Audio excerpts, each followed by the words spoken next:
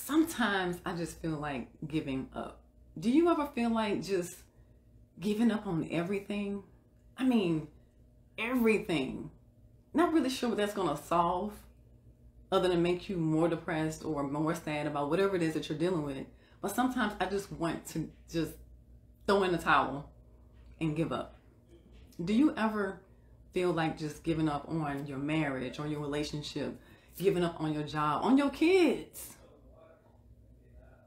Sometimes you just want to give up on your children because they really can do some things that take you there, right? On your career, sometimes you want to give up on your business because things become hard and challenging and you just have a lot of different things that's going on. And you know, we as women, you know, we're trying to keep it all together. Our relationship, trying to keep the house together, the kids. And sometimes you just want to just let it all go. And I was thinking about that. What do you do when you want to give up? You know what I do? When I want to just give up, I think about all the reasons why I shouldn't.